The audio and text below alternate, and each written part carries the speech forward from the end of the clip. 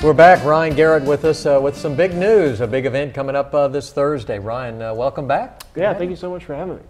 Um, so yeah, we were talking about farmers markets just now. I mean, we've seen a lot Yep. of growth in the area. I mean, the Alexandria farmers market's doing really well. Sure Inglewood's growing all the time. Um, so most recently, some people in Pineville, the right sort of players got together. The Mm-hmm. city of Pineville, Louisiana College, and CLEDA, Central Louisiana Economic Development Alliance, got together and said, "Hey, people in Pineville want this as well." So this Thursday, grand opening, Pineville Farmers Market. uh, it's going to be three to six. It's right in front of Louisiana College. Those two roads leading up right there. You're going to not be able to miss it. Right off of Main Street. Great. Big to do. Big news. Uh, yeah, we're gonna have a lot going on. I mean, the first uh, three hours, I would say three to six, is gonna be our farmers market. Uh, we're gonna have vendors there, uh, lots of farmers, lots of food makers, people making hot food, people with vegetables, people with fruits and jams, all sorts of stuff. Well, Brian, let me ask you this. Uh, tell me about your produce.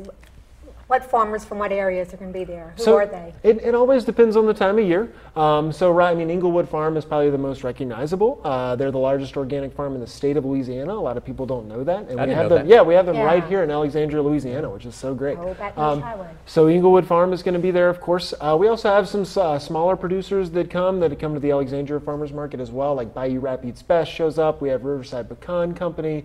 Um, we have uh, Rayvon Floyd Enterprises, which is a small farm outside of uh, Pineville, uh, kind of out toward the Boyce area. We have St. Mary's Residential Training School. We know have been doing transplants, seedlings.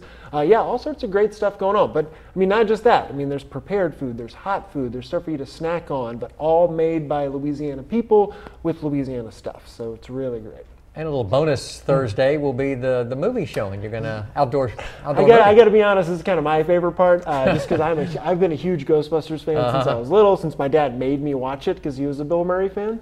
Uh, so at 7:30, our farmers market's three to six, and so at 7:30, uh, we're going to blow up the inflatable screen. gonna be really nice. We're going to Should show Ghostbusters, and it's free. You bring a one non-perishable food item for the food bank, and you get to sit down. You get to enjoy a movie. Uh, you can talk to some of our farmers while you're there. You can buy some snacks. There'll be popcorn. Uh, yeah, it's going to be great for everybody, for families, for college students, everybody.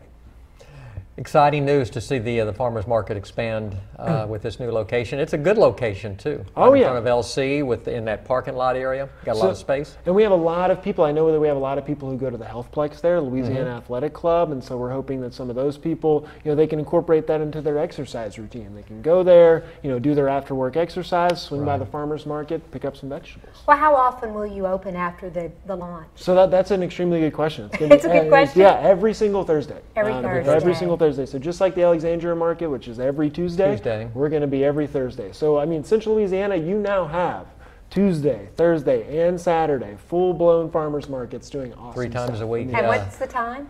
Um, so it's every Thursday, three to 6 and Mm-hmm. then our showing is going to start at 7:30. Probably show up at about seven. Bring your own chairs and blankets, but remember it's free. Weather should be one beautiful Thursday. Oh, too. Yeah, beautiful all week. So Mm-hmm. Tuesday, Thursday, and Saturday we got sunshine. So we are ready to go. The Alexandria market seems to be doing real well. Mhm. Off I mean, if you uh, hopefully you've seen our community table. We had our spring plant, spl- uh, spring planting market uh, last week, and we have some yoga coming at the end of this month. Oh, okay. and maybe a little dinner at the market surprise that I'll probably talk to you about another time. All right. Wow, you've had a lot going on. Oh yeah, you got to be Local busy. food You got to be you gotta love it. Yeah.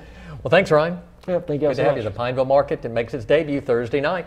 More to come on our show. Stick around.